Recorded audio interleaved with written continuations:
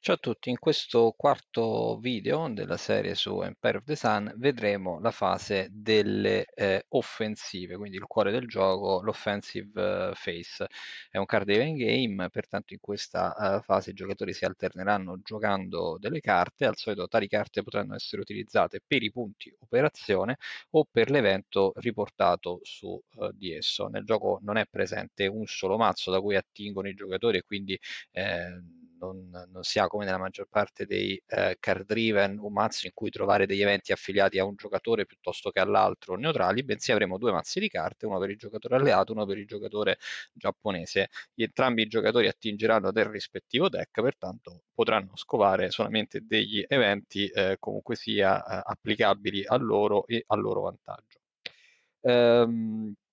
Vediamo come si svolge quindi la fase delle, eh, delle offensive. Abbiamo detto che eh, durante tale fase c'è prima un segmento per determinare l'iniziativa dei giocatori, partirà per primo il giocatore che ha eh, in genere il eh, numero maggiore di carte. In caso di pareggio comincerà il giocatore giapponese nei primi turni di gioco, cioè dal turno 1 al eh, turno 4, quindi gli anni 1941-1942, dal turno 5 al dodicesimo invece comincerà prima il giocatore alleato. Eh, qualora il giocatore con meno carte abbia a disposizione una carta per l'offensiva futura, ha la facoltà di giocarla immediatamente, andare per primo e giocare tale carta per l'evento. A quel punto poi proseguirà il secondo giocatore e i giocatori appunto si alterneranno giocando le carte. Quindi eh, quali sono le opzioni che ha un giocatore quando è il suo turno? Eh, in questo caso il giocatore che sta per giocare la carta viene chiamato giocatore attivo, il giocatore invece che eh, subisce più o meno passivamente l'azione del giocatore è il reaction player, quindi il giocatore di eh, reazione. Il giocatore attivo ha la possibilità di giocare una carta dalla mano oppure se ha a disposizione dei passo può bruciare un suo passo, naturalmente ne deve avere almeno uno Ricordiamo questi passo vengono dati durante la fine della fase dei rinforzi in cui si determina quante carte hanno entrambi i giocatori. Se i giocatori hanno 7 carte non hanno diritto a nessun passo, se hanno 6 carte hanno diritto a un passo, se hanno 5 o 4 carte, che è il numero meno di carte che potranno comunque avere, hanno diritto a 2 passo. Quindi il giocatore attivo potrà o giocare una carta dalla mano o utilizzare bruciare un suo passo oppure utilizzare una carta eh, dell'offensiva per il eh, futuro. Eh, vedremo al termine del, della spiegazione di questo video cosa si intende. Ehm, immaginiamo che il giocatore quindi decida di utilizzare una carta. Le eh, opzioni che ha a disposizione il giocatore nell'utilizzo di una carta sono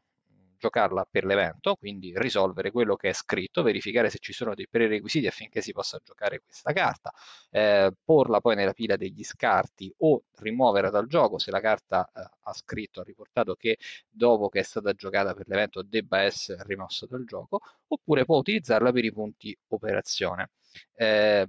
siamo qui nel, in questo scenario del 1943 come giocatore eh, giapponese, peschiamo ad esempio uh, sette carte, eh, giocare una carta per l'evento, ad esempio questa carta, questa è una carta risorsa, viene rimossa dal gioco se è giocata come evento, dà diritto a tenere rimpiazzi navali.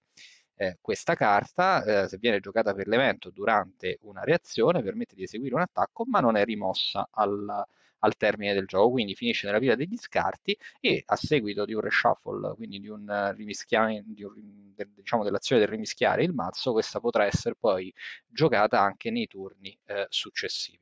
Quindi giocare una carta per l'evento si intende leggere quanto è riportato ed eh, eseguirlo. La carta può essere giocata per i punti operazione, quindi per questi numeri che troviamo qui. Il numero dei punti operazione va da 1 a, a 3 eh, e tali punti operazione possono essere utilizzati per condurre un'offensiva oppure condurre un'offensiva in Cina, che è un, caso particolare, eh, per rimuovere un HQ dalla plancia di gioco, per riportarlo in gioco prima del tempo, oppure l'ultima opzione è costruire una, una linea di eh, trasporto. Adesso vedremo cosa eh, vuol dire eseguire queste cose. Eh, l'abbiamo visto già in un video precedente, però ricordo che esistono quattro tipologie di eh, carte. Ci sono le carte militari che sono queste con la banda nera, le carte risorse che sono queste con la banda verde, le carte di reazione che sono queste con la banda blu e poi abbiamo le carte politiche che sono queste, quelle con la banda gialla. Per semplificare al massimo, le carte politiche, quelle con la banda gialla, servono ad interagire con i vari track che vediamo sulla plancia di gioco. Ad esempio questa, guerra, questa carta, la guerra in Europa, permette di muovere l'indicatore sul War in Europe track, mentre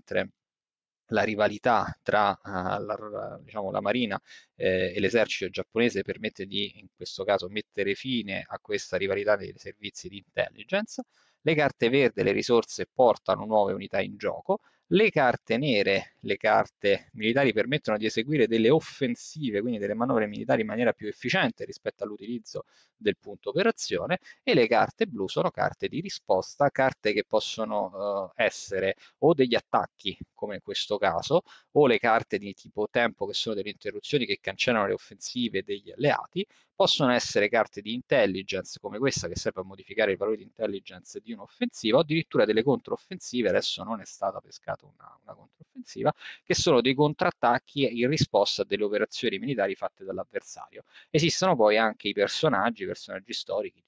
tipo Gandhi che eh, apportano dei benefici, bisogna leggere l'evento e verificare quanto è eh, scritto.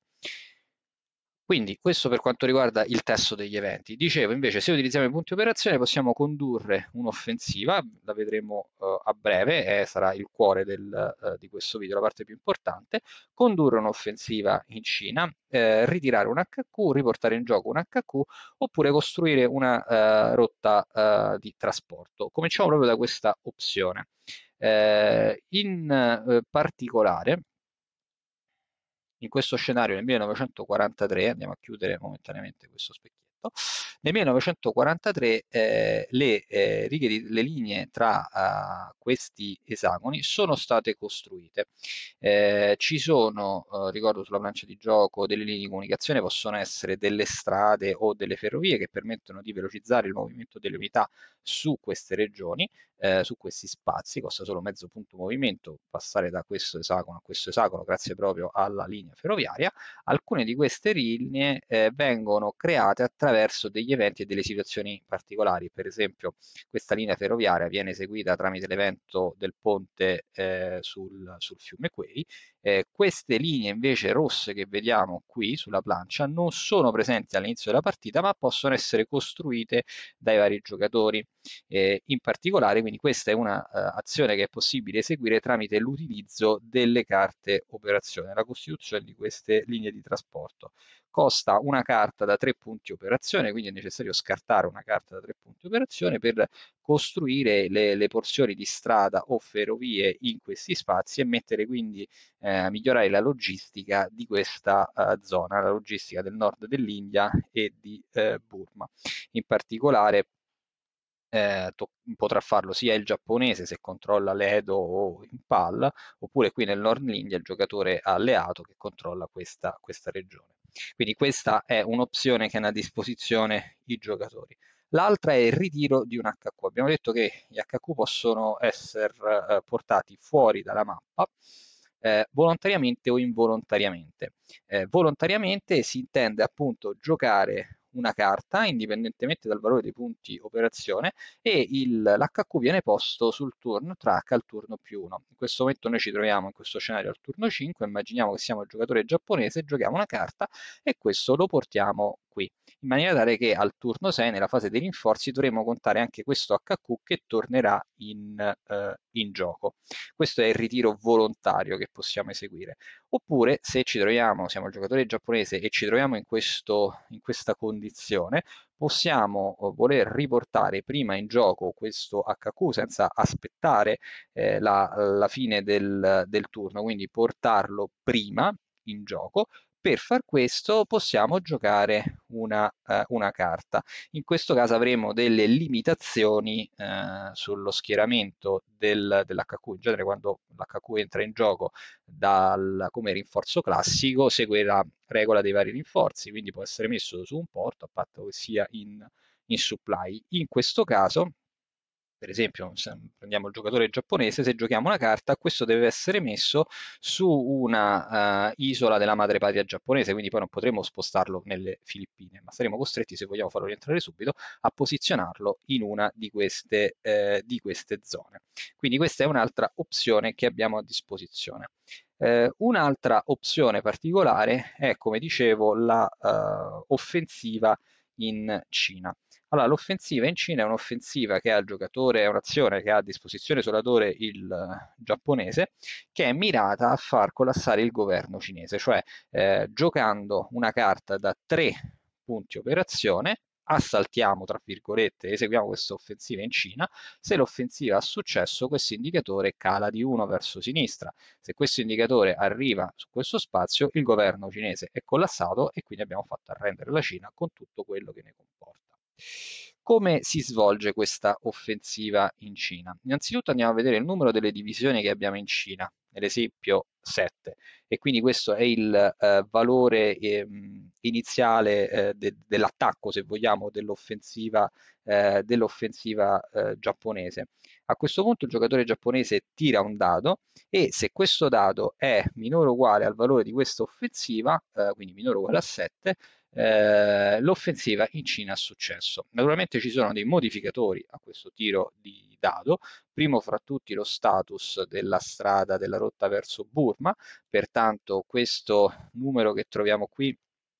in realtà è eh, un numero che va a vantaggio del giocatore alleato, questo meno 4, meno 8 va a abbassare il valore di soglia della nostra offensiva, il valore dell'assalto della nostra offensiva, quindi noi cominciamo con uh, un valore di offensiva 7, però ci troviamo con l'AMP, quindi con eh, i trasporti aerei attraverso l'Himalaya che portano sussidio nelle zone del Burma e della Cina, quindi in realtà è come se virtualmente il nostro valore di offensiva fosse 3 e quindi dovremo tirare un dado, se facciamo da 0 e 3 abbiamo avuto successo e quindi l'indicatore viene spostato, se facciamo 4 più in realtà non abbiamo avuto successo e quindi eh, non si ha questo shift dell'indicatore, quindi questo è il modificatore del dato che dovremo andare a controllare.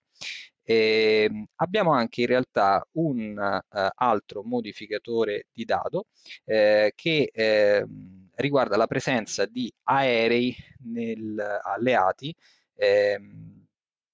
se questi si trovano praticamente nel, uh, nel box cinese e quindi queste ulteriormente fanno abbassare il valore di, di soglia dell'assalto dell'assalto giapponese. E, ehm, Ok, eh, questo per quanto riguarda il valore dell'offensiva cinese. Una cosa importante per quanto riguarda il valore, eh, più che il valore, la, l'azione dell'offensiva cinese è che questa non può essere fatta uh, liberamente a nostro piacere, al più può essere fatta un turno sì, un turno no, quindi noi nell'esempio ci troviamo nel turno 5 di gioco, se andiamo a eseguire un'offensiva cinese, indipendentemente se abbia successo o meno, dobbiamo aspettare il turno 7 prima di lanciarne un'altra. Se però abbiamo tra il turno 5 e il turno 6 un evento che ci permette di eseguire, giocando il testo dell'evento, un'offensiva in Cina, quello lo possiamo giocare tranquillamente. È proprio l'azione di spendere punti operazione per assaltare la Cina che può essere eseguita solamente un turno sì e un turno no. Infine, l'ultima uh, azione che abbiamo a disposizione con i punti operazione è quella di lanciare delle uh, offensive militari. E quindi adesso entriamo nel cuore proprio del gioco e vediamo come vengono lanciate le offensive militari. Innanzitutto abbiamo due modi per lanciare le offensive militari, che è appunto giocare una carta per i punti operazione oppure giocare una carta eh, militare che permette di lanciare appunto un'offensiva eh, militare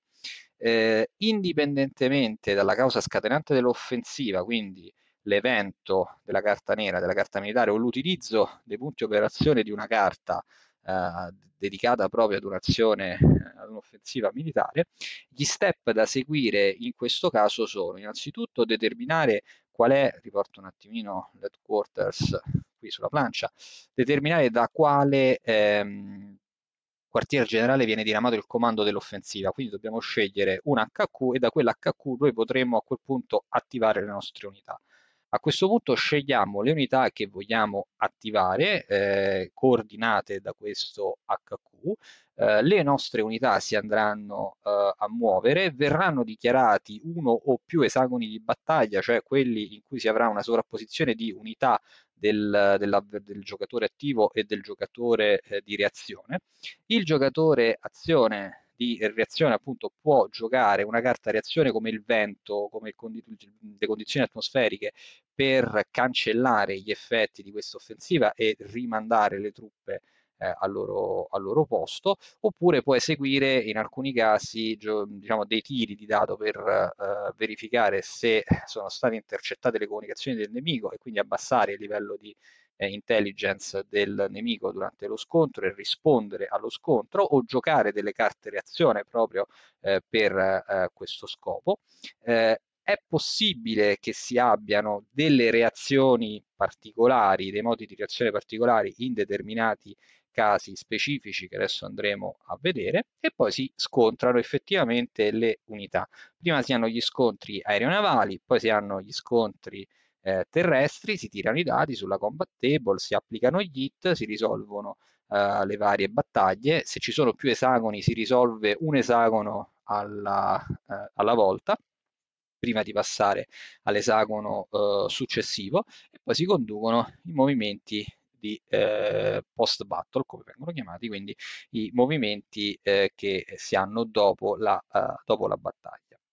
allora, eh, vediamo quindi come, eh, entriamo nel dettaglio e vediamo come si eh, determinano passo passo tutte queste cose. Diciamo che è più facile farlo che descriverlo, quindi poi con un esempio di gioco, con un ultimo video, vedremo in pratica tutto quello che ci stiamo uh, dicendo, perché rischiamo insomma di perderci un po' tra tutte queste parole, però una volta che vengono lanciate un paio di offensive si vedrà che è abbastanza semplice il, il tutto. Allora, eh, come dicevo, viene giocata un'offensiva, immaginiamo che venga attivato questo eh, headquarters.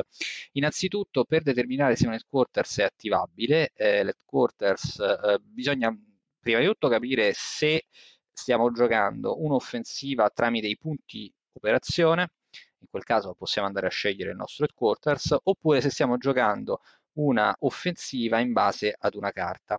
Eh,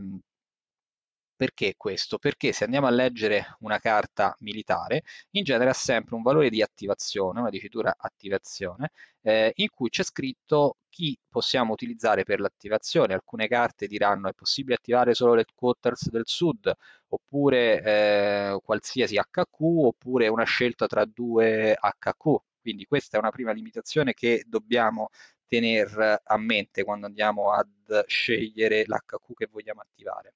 Poi successivamente, dopo la scelta dell'HQ, dobbiamo andare ad attivare le nostre unità. Per quanto riguarda il giocatore giapponese è abbastanza semplice, il giocatore giapponese può attivare tutte le unità che sono attivabili dall'HQ. Per quanto riguarda il giocatore alleato, ricordiamo che eh, il giocatore alleato ha le nazionalità degli HQ. Pertanto, se il giocatore alleato sta attivando eh, un, eh, un HQ americano, questi potrà con l'HQ americano dichiarare solamente attivazioni di truppe americane e, eh, e cinesi. Se sta utilizzando invece un HQ del Commonwealth potrà attivare solamente le unità eh, del Commonwealth,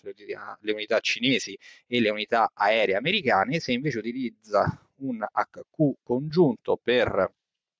eh, comandare le sue unità potrà scegliere qualsiasi tipo di, eh, di unità. Quindi anche questo è importante andare a verificare. Se si gioca una carta militare per l'offensiva, magari all'interno della carta c'è scritto che è possibile eh, attivare solamente eh, aerei piuttosto che unità di terra, piuttosto che navi e unità di terra, quindi in quel caso bisogna fare attenzione al testo della carta. Bisogna fare anche attenzione quando si lanciano le offensive al valore, se presente, della rivalità eh, tra i servizi appunto di intelligence della Marina e del, dell'esercito, perché per esempio in questo scenario c'è la rivalità per ambo le fazioni. Cosa accade in questo caso? Che eh, gli HQ, per esempio l'HQ giapponese, non può eh, attivare sia l'esercito che unità navali durante l'offensiva o durante un'eventuale risposta eh, all'offensiva. Stesso discorso vale per il giocatore eh, americano che non può attivare l'esercito o, o la marina durante la reazione, quindi vanno un attimino considerate queste cose. Poi per il resto, una volta che abbiamo scelto il nostro HQ, eh, dobbiamo vedere eh, e capito se possiamo attivare o meno un'unità, un'unità bisogna, affinché sia attivabile, che si trovi in supply e si trovi diciamo entro il raggio di attivazione dell'HQ. Questo HQ ha raggio 12, quindi possiamo attivare le unità che si trovano entro 12 da questo HQ, dove entro 12 significa se riusciamo a creare un path di attivazione verso eh, l'unità, quindi dobbiamo attraversare spazi eh, contenuti dove sono presenti delle unità del, del nemico, ad esempio se qui ci fosse, oh, qui se qui eh, a, Ban a, Bangkok e, e, su questo esagono ci fossero due unità alleate, noi non potremo con questo HQ seguendo questo path andare ad attivare queste, eh, queste unità, quindi bisogna, ehm, riprendendo un attimino quello che si è detto nel video 2 della serie, verificare se un'unità è nel raggio di attivazione. Se l'unità è nel raggio di attivazione la possiamo attivare, potremo attivare un numero di unità che è pari al valore di efficienza dell'HQ 1 in questo esempio, eh, più il valore diciamo logistico della nostra offensiva. Allora, il valore logistico della nostra offensiva, se giochiamo una carta militare, è stampato sulla carta, quindi questa carta ci permette di attivare due unità, quindi applicate a questa HQ attiveremo 2 più 1, 3 unità. In caso contrario, se giochiamo una carta per i punti operazione per lanciare un'offensiva, quindi se usassimo questa carta per lanciare un'offensiva, attiveremo 3 unità più l'efficienza del valore dell'HQ, quindi andremo a vedere il valore in punti operazione della carta. Una volta che abbiamo scelto quali saranno le nostre unità da attivare, queste si muoveranno. Eh, adesso spiegherò come si possono muovere queste, queste unità e eh, sarà possibile andare a dichiarare dei battle axis, un esagono di battaglia, un esagono in cui sono presenti sia le unità eh, proprie che quelle del giocatore di, eh, di, reazione, quindi molto banalmente se noi siamo il giocatore giapponese facciamo un'offensiva e spostiamo questa unità da qui a qui, questo sarà un esagono di battaglia, così come se andiamo a spostare questa da qui a qui, questi saranno due esagoni di battaglia. Ora, noi potremo avere solamente un esagono di battaglia se giochiamo, se eseguiamo un'offensiva scaturita da una carta utilizzata per i punti operazione. Se invece utilizziamo una carta per l'evento, possiamo, quindi una carta nera, una carta militare, possiamo anche attivare, avere a valle del movimento più esagoni di battaglia. A questo punto, prima di procedere per lo scontro, bisogna determinare le condizioni di intelligence dell'offensiva. Questo cosa significa? Significa che di norma, quando viene sferrato un attacco, un attacco ha un valore di intelligence che è di attacco a sorpresa. Qualora non sia eh, espressamente specificato nella carta, e per, in questo esempio non l'abbiamo, alcune carte hanno anche un valore di intelligence uguale ehm, surprise attack, allora qualora non sia specificato nella carta, il giocatore eh, di reazione può, volendo, tirare un dado e verificare se ha intercettato le comunicazioni del nemico e quindi se può rispondere, cioè se abbassare il valore di intelligence da attacco a sorpresa a intercept. Perché questo è importante? Perché se il livello viene abbassato e quindi viene intercettato il nemico, innanzitutto il giocatore di reazione ha la possibilità di reagire e quindi di spostare alcune unità a supporto dei battle axis che sono stati dichiarati e quindi non combattere solamente con le unità che si trovano nell'esagono di battaglia dichiarato, ma può portare degli aiuti. E secondariamente, se l'attacco rimanesse ad attacco a sorpresa, oltre al fatto che non arrivano dei rinforzi per il giocatore in difesa, l'attaccante attacca per primo, il combattimento non è in contemporaneo. Se invece il livello di intelligence è di intercetto, allora il combattimento è in contemporaneo. Quindi l'attacco può essere o di attacco a sorpresa come livello di intelligence o di intercetto, quindi eh, abbassando l'intelligence. In realtà c'è addirittura un terzo valore di intelligence che è l'imboscata e questo può, uh, si traduce, diciamo così, in una sorta di contrattacco da parte del, uh, di preparazione e contrattacco da parte del giocatore in difesa, nel qual caso il primo è il difensore che lancia i dadi e infligge le ferite e poi toccherà all'attaccante. Allora, per determinare questo livello di intelligence, il giocatore di reazione può o lanciare un dado, se, ripeto, si sta lanciando un'offensiva tramite punti operazione o tramite una carta nera in cui non è esplicitamente scritto che si tratti di un attacco a sorpresa, oppure può giocare una carta di eh, reazione. Eh, esempi di carte di reazione abbiamo qui eh, il JN25 Code Change, che è una carta che dice proprio che il livello di intelligence si è modificato, è diventato intercept, in più permette anche di pescare una carta dopo che è stata giocata. Quindi questo è un esempio di carta che modifica il livello di intercetto. In realtà il giocatore può, eh, in risposta a un'offensiva, giocare anche le altre tipologie di carte reazione. Questo è un, un attacco, questo è il maltempo che come dicevo cancella addirittura un'offensiva. E, e, in genere il giocatore in, il giocatore in reazione ad un attacco può giocare in risposta solamente carte di tipo, uh, di tipo reazione. E, in totale può giocare tre carte reazione, quindi se fosse il turno dell'americano diciamo che potrebbe andare a giocare sia questa che questa, che addirittura la carta del, eh, del maltempo. E, ehm, in questa mano, se ricordo bene, non ho pescato la controffensiva, beh, ci sarebbe potuta essere anche la, uh, la controffensiva. Allora, diciamo che eh, se il giocatore in risposta non ha una carta reazione da giocare o non la vuole giocare, può eseguire un tiro di dado per vedere se si abbassa il valore di intelligence. Tira sempre il D10 e eh, a questo punto deve tirare un, un numero che è eh, per avere successo affinché l'intelligence insomma eh, sia abbassata da attacco a sorpresa a, a intercept ehm,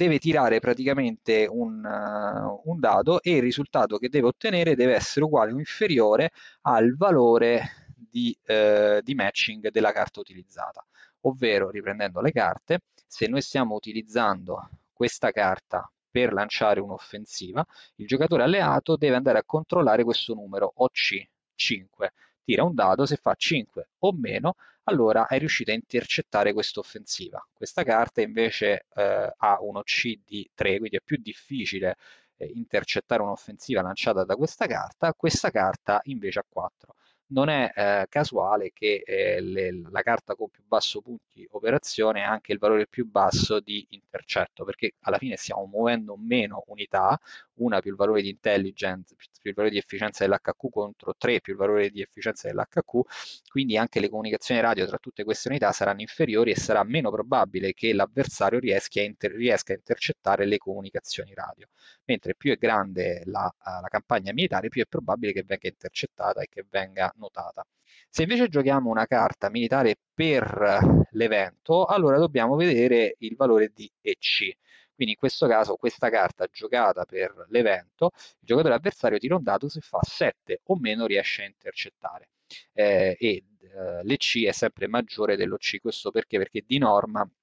l'evento permette di giocare, eh, di avere un valore logistico ehm, almeno uguale se non maggiore dei valori dei punti operazione della carta stessa, questa è una carta particolare però poi ha dei benefici, in genere ci sono anche dei bonus che devono essere letti e delle condizioni, eh, delle condizioni particolari, insomma. Quindi eh, è più probabile che venga intercettata. Questo tiro di dado ha un modificatore, eh, se durante eh, il movimento delle unità che sono state attivate, che sono giunte al battle axis o che si sono mosse, comunque entrano, escono o attraversano una zona di influenza del nemico, indipendentemente dal fatto che sia neutralizzato o meno, eh, questo naturalmente fa sì che tali movimenti vengano notati con più probabilità. E quindi il, eh, il valore di OC viene aumentato, di viene aumentato di, eh, di 2, quindi sempre nell'esempio di prima, se noi utilizziamo questa carta carta per lanciare un'offensiva, in realtà questo eh, numero 5 diventerebbe un 7 se un'unità del giapponese fosse passata all'interno di una zona di influenza alleata e quindi l'alleato con un tiro di dado da 0 a 7 riesce ad intercettare le eh, unità nemiche. Se il tiro di intercetto, se viene intercettato tramite una carta, ha avuto successo, dopo il movimento del giocatore attaccante c'è il movimento del giocatore difensore, quello che viene chiamato reaction move. E quindi in questo caso eh, il giocatore eh, difensore, il giocatore di reazione, deve eleggere un HQ che è in rifornimento e questo HQ viene definito l'HQ di, eh, di, reazione. Deve, affinché possa essere eh, diciamo, eletto come HQ di reazione, quell'HQ che si sta selezionando, deve esserci almeno un eh, esagono eh, di, eh, di, battaglia eh, entro il raggio di, quel, di quell'HQ. Quindi, ad esempio, il giocatore, ehm, il giocatore alleato ha qui un, un HQ, questo eh, del SIAC, immaginando che l'offensiva del giapponese sia partita da questo HQ che abbia mosso queste due unità e che quindi abbia creato qui due esagoni di, eh, di battaglia, eh, il giocatore eh, alleato ha tirato un dato, ha avuto successo e quindi può eseguire un movimento di intercetto, questi almeno entrambi gli esagoni in realtà comunque bastava che uno di questi due esagoni fosse nel raggio di questo HQ che c'è qui sotto. Quindi questo HQ viene letto per esempio come HQ di eh, reazione. Eh, il giocatore alleato a questo punto ha la possibilità di eh, attivare un numero di unità che è pari al valore di efficienza dell'HQ, sempre, quindi 1, più il valore logistico del, della sua risposta. Il valore logistico della risposta è pari al valore in punti operazioni della carta utilizzata dal giocatore, eh, dal giocatore avversario. Eh, se il, eh, il, il giocatore in reazione ha giocato una carta di controoffensiva, come carta di reazione, allora leggerà il suo valore in punti, eh, diciamo, il suo valore in termini logistici eh, sulla carta della controoffensiva. Eh, a questo punto il giocatore alleato potrà attivare le sue unità, va a attivare le unità affinché comunque possano eh, raggiungere eh, il battle axis. Non è possibile eh, attivare delle unità e muovere queste unità per cui non vanno a finire nell'esagono di battaglia quindi non è possibile utilizzare una sorta di escamotage per muovere delle unità molto lontane. Se ci fossero, per esempio, se ci fosse qui un'unità eh, terrestre che eh, diciamo, non, non, potesse seguire un movimento anfibio, uno sparco anfibio, ma potesse muoversi solamente lungo terra e non riuscisse ad arrivare qui in A o in B, non è mh, possibile andare a muovere questa unità semplicemente per farla avvicinare al, all'esagono di, eh, di battaglia. E, mh, oppure, questo per quanto riguarda le unità terrestri e marine, oppure comunque devono riuscire a partecipare alla battaglia stessa, pertanto se ci fosse un aereo qui e questo si potesse trasportare qui entro range delle battaglie in A o in B, quel movimento sarebbe legale. Se invece non riuscisse ad arrivare entro il raggio d'azione per le battaglie A e B, non si potrebbe andare a muovere quel determinato aereo. Una volta che comunque sono stati condotti questi movimenti, si procede allo scontro su A e su B o su B o su A, l'ordine viene scelto dal giocatore attaccante e poi ci sarà il movimento eh, post battle e quindi eh, di tanto si sono mosse le unità per raggiungere unità aeree e le unità navali per raggiungere questi spazi, di tanto si dovranno muovere indietro verso degli aeroporti o dei porti eh, amici. Eh, lo stato del controllo di un porto, di un aeroporto, potrebbe cambiare durante il corso della battaglia, perché magari nel contempo c'è stata una battaglia terrestre e quindi è stato preso possesso di quel determinato esagono, per cui eh, la verifica del, degli esagoni di porti e aeroporti amici su cui è possibile tornare nel movimento di post battle viene comunque eseguito esattamente appena termina la battaglia. Quindi non è detto che le unità debbano tornare parecchio lontano indietro ma possono rimanere sugli esagoni appena, eh, appena conquistati vediamo come si muovono quindi le, eh, le unità allora, innanzitutto per quanto riguarda eh, il valore in movimento delle unità, questo è dettato da questo chart ed è in particolare dettato anche dal valore in punti operazione della carta utilizzata per eh, far partire l'offensiva. Nel nostro esempio il Giappone ha utilizzato una carta da 3 punti operazione. Questo cosa significa? Andiamo a guardare questa riga, questa qua sotto, e andiamo a leggere che un'unità di terra ha 3 punti movimento, un'unità aerea che ha un range di movimento a 6 punti movimento, una che ha un raggio esteso di 4 ne ha 12 e via discorrendo, una nave ne ha 15. Cosa significa questo? In maniera molto semplice, ogni unità terrestre questa, ha un valore di movimento che è pari a 1, 2 o 3 a seconda se usiamo una carta da un punto operazione, due punti operazione o tre punti operazione per lanciare l'offensiva.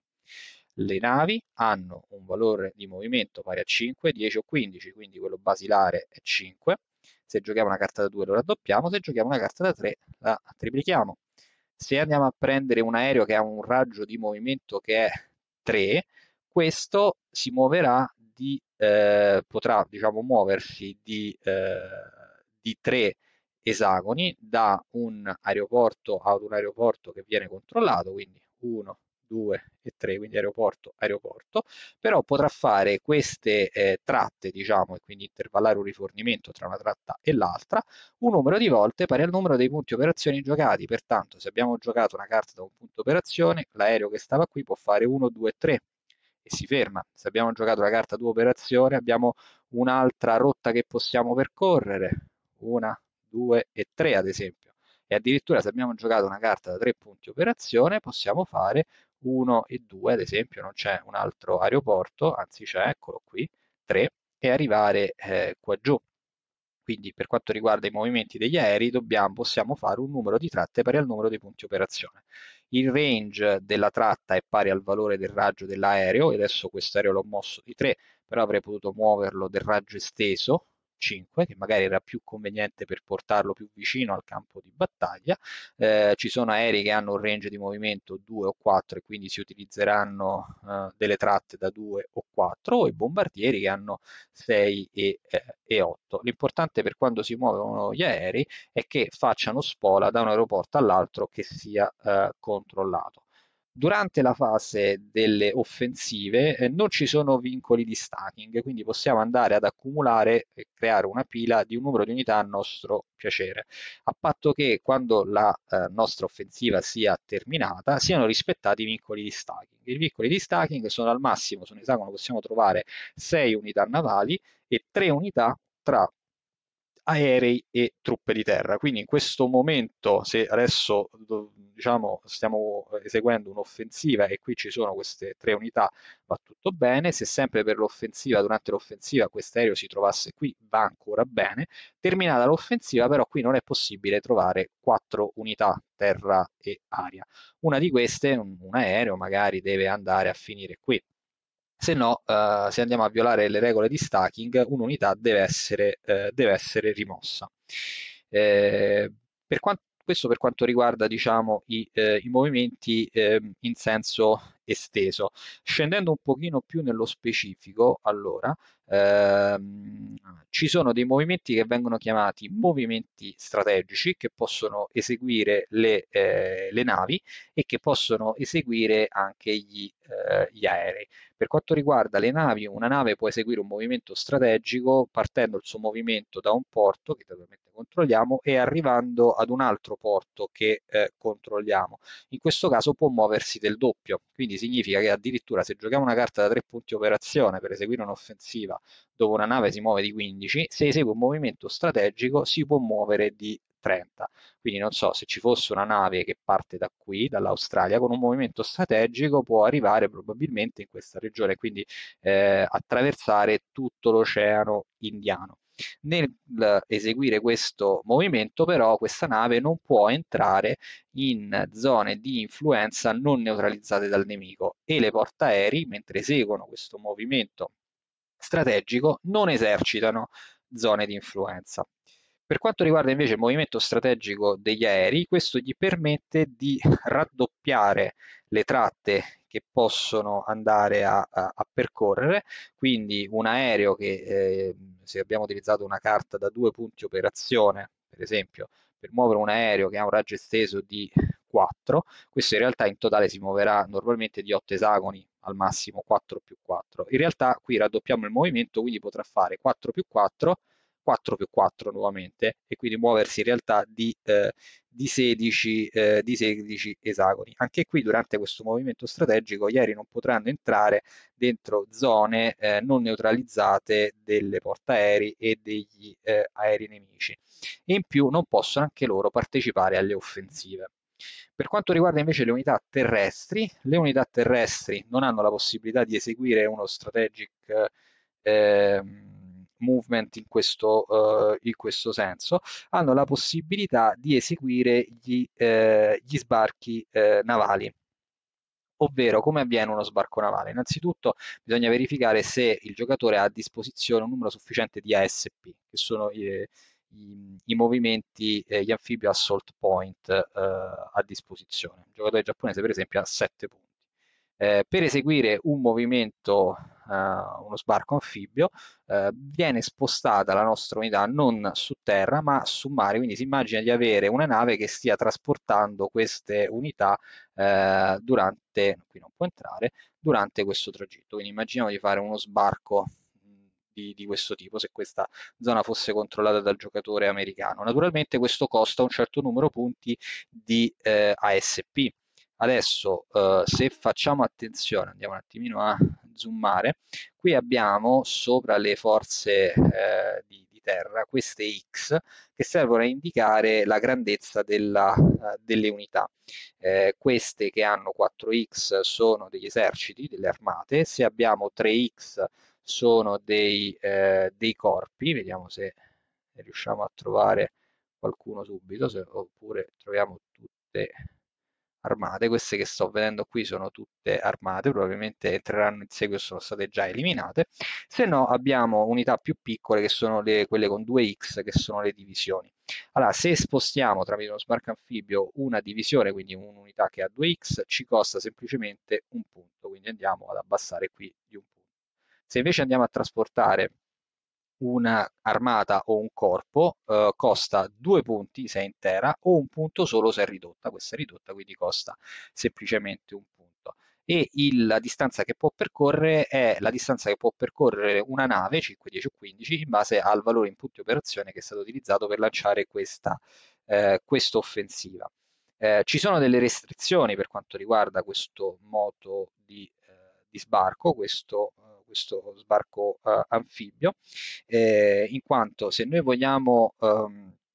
durante questo PAT entrare in una zona dove c'è un'unità navale del nostro avversario, dobbiamo necessariamente avere un'unità navale che scorti questa, questa unità che, che, sbarca, se no questo moto non è possibile. Pertanto se ci fosse una nave all'ancora, se noi immaginassimo di andare da qui a eseguire uno sbarco, uh, vediamo un po' dove eh, lo possiamo fare andiamo da quest'altra parte. Se noi volessimo eseguire uno sbarco eh, anfibio da, ecco, da qui e arrivare a sbarcare qui, se qui no, ci fosse una nave nemica, quindi prendiamo questa nave e posizioniamola qui, se qui eh,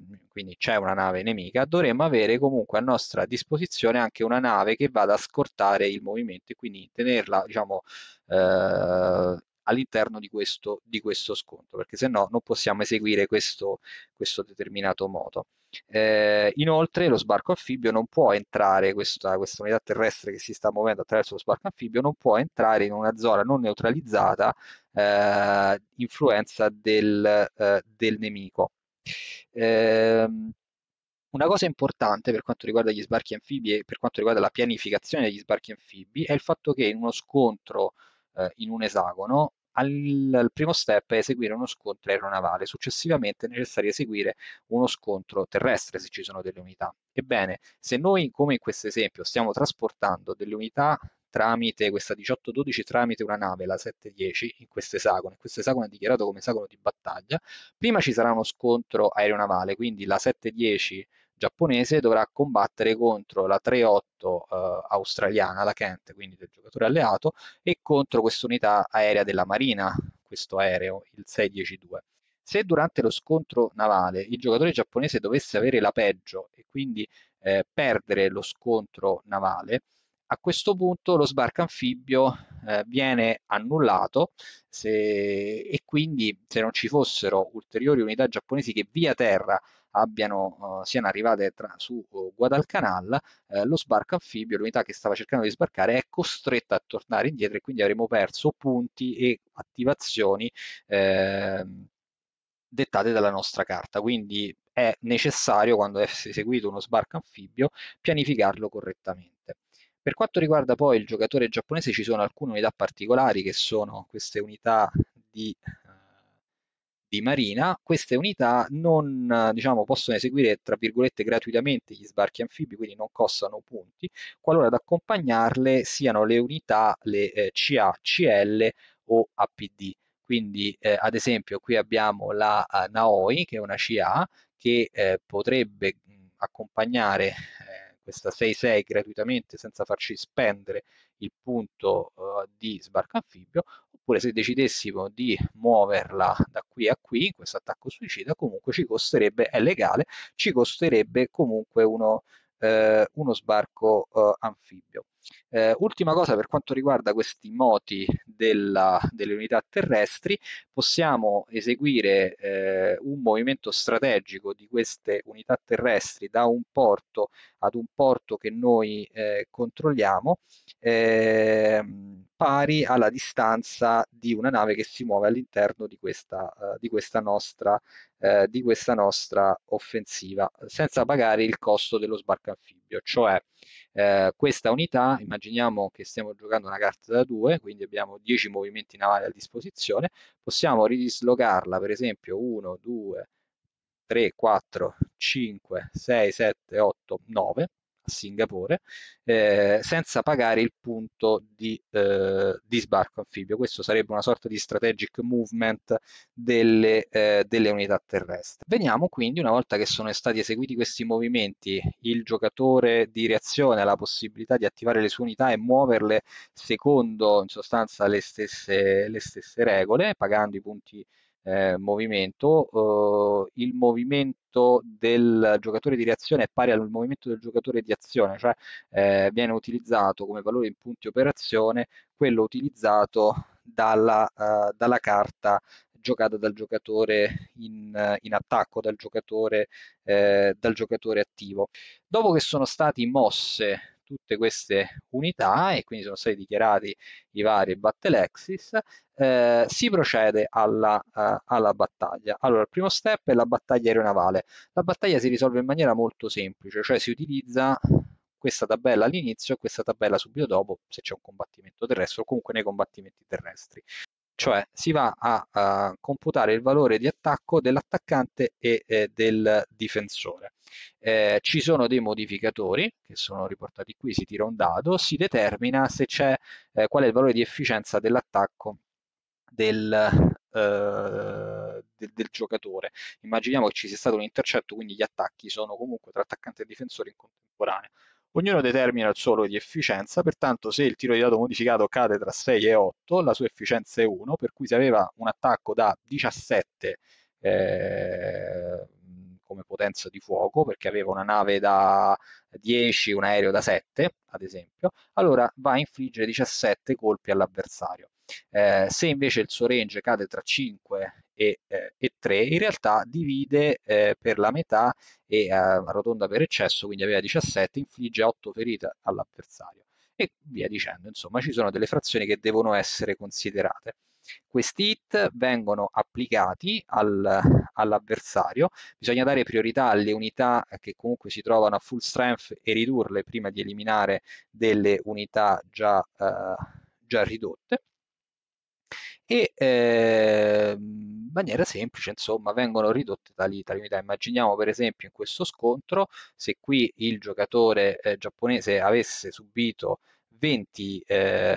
20 perdite ne può attribuire 14 alla Nagato e quindi la Nagato va a flipparsi. Le altre 6 non sono sufficienti a girare la uh, Junio che ha 8, il secondo 8 andiamo a vedere, quindi questa sarebbe la risoluzione. Se invece di aver subito, eh, se avesse subito altri due danni, avrebbe eh, ridotto anche eh, questa unità. Se ne avesse subiti ancora, eh, andrebbe a distruggere, insomma, almeno altri 8, andrebbe a distruggere la porta aerei la Giugno.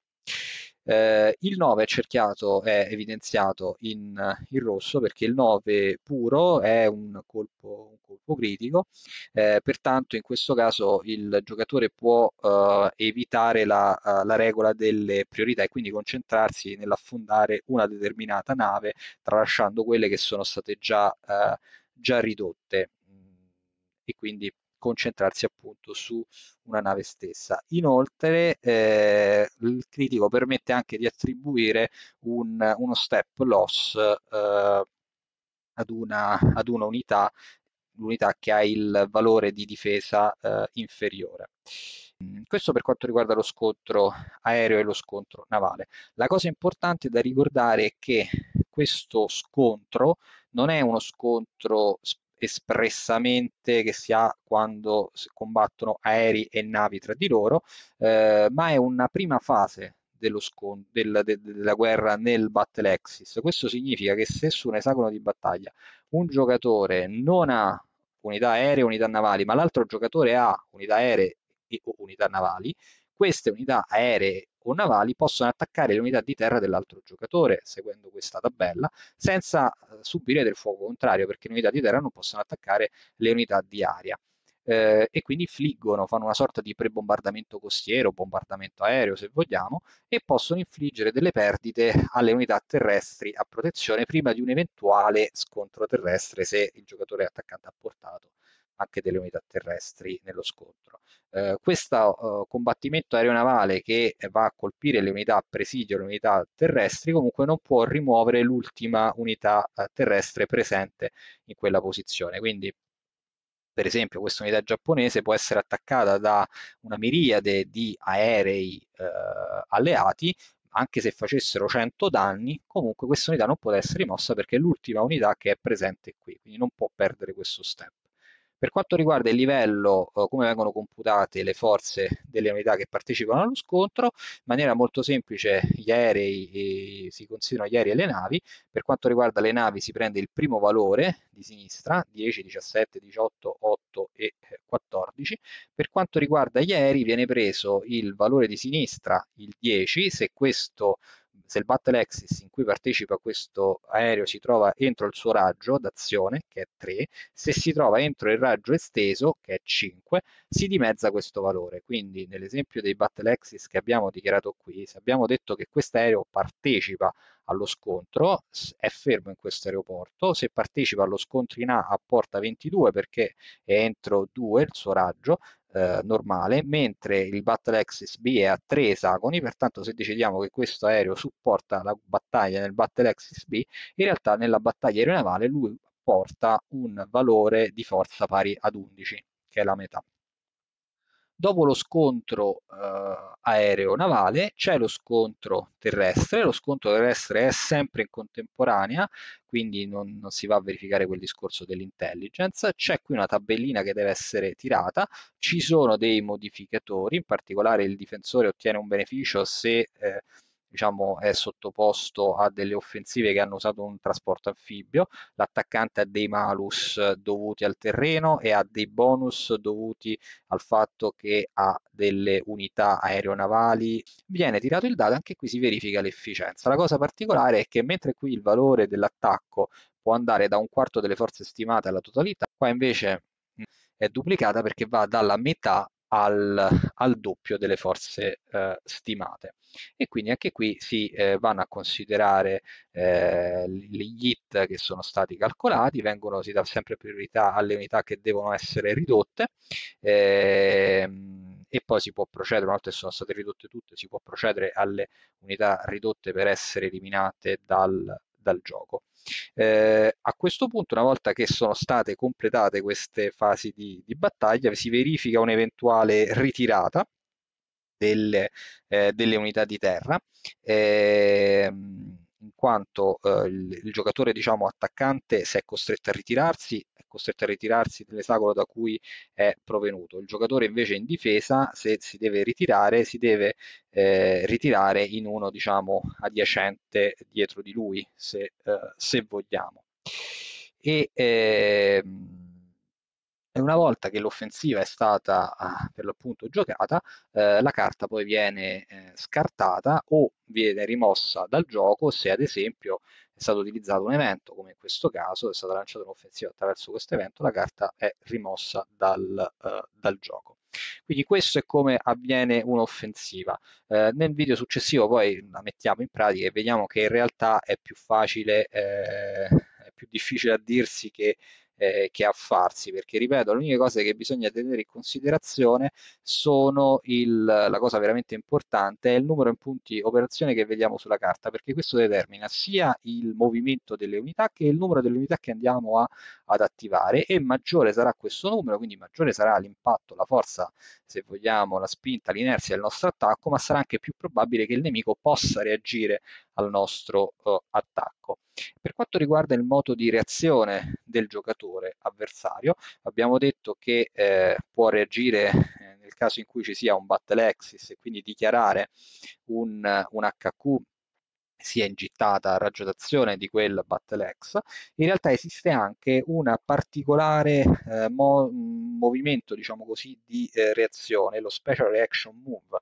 del giocatore in reazione, cioè quando un'unità di terra del giocatore attaccante ehm, va ad occupare o un esagono di tipo risorsa o un porto o un aeroporto o una città dell'avversario eh, che si trova entro il raggio d'azione di, eh, di, un HQ sempre e soprattutto si trovi all'interno di una zona di influenza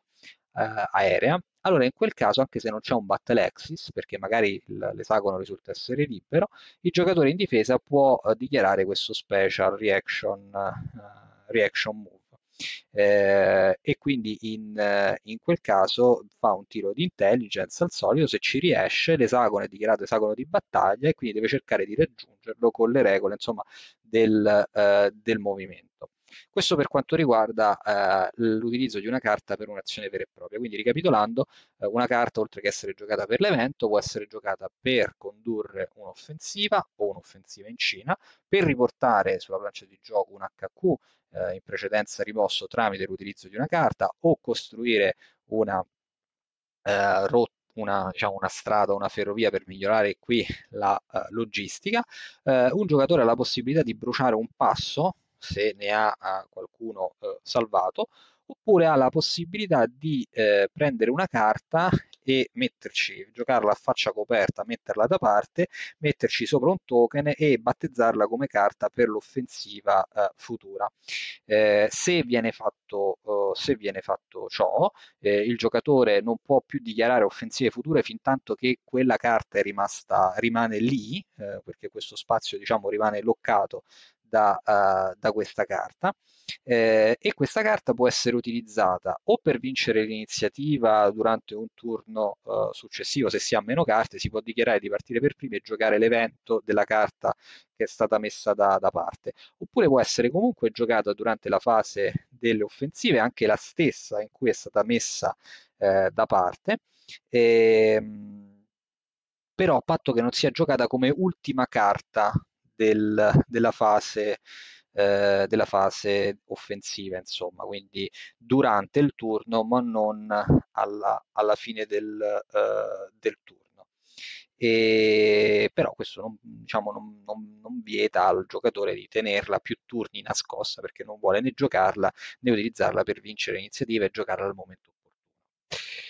questo conclude quindi il video circa la fase delle offensive e eh, così la panoramica del regolamento di Empire of the Sun. Il regolamento, ripeto, come già detto eh, al primo video, è abbastanza corposo, molto discorsivo, comprende all'interno l'esempio di gioco, in totale sono una cinquantina di pagine, tutto sommato compresi anche i vari eh, scenari, è denso di informazioni, ehm, molte regole e molti comportamenti e concetti chiavi sono ripetuti anche in più punti del regolamento e sono, uh, ci sono diversi, eh, diverse reference all'interno dello, dello stesso. Insomma, è un regolamento che va letto più di una volta secondo me per eh, masticarlo, masticarlo bene per comunque ricordarsi dove andare a, a riaprire un capitolo se si ha un dubbio mentre si sta facendo una eh, una partita. Eh, nel video successivo vedremo eh, alla fine l'esempio di gioco proprio del, ehm, del, regolamento in cui vengono messi in pratica insomma, tutti i concetti eh, visti e enunciati sin qui.